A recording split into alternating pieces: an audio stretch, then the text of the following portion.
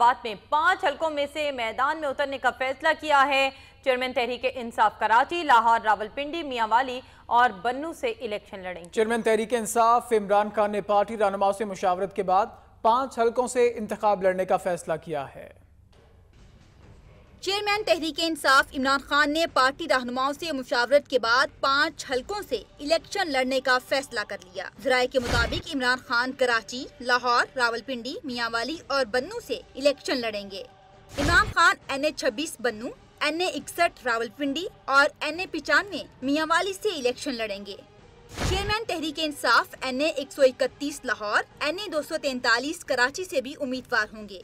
Imran Khan N اے ایک سو اکتیس لاہور میں نون لیگ کے خواجہ سعد رفیق کے خلاف انتخابی میدان میں اتریں گے۔ جبکہ این اے چھبیس بنو میں عمران خان کا مقابلہ جے یو آئی کے اکرم دوران